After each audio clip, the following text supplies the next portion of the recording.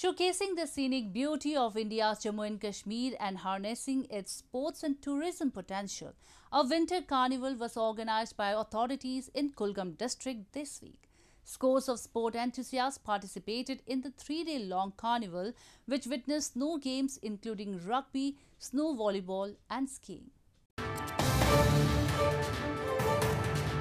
A three-day winter carnival was organized in Kulgam district of India's Jammu and Kashmir this week to attract tourists and promote scenic beauty and tourism in the area.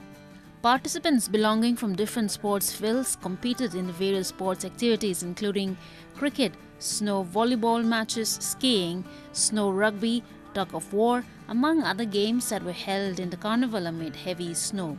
Tourists lauded the efforts by the district authorities and called it a promising initiative. This winter carnival that is going on here, it is a very promising initiative from the district administration and also the tourism department of the district.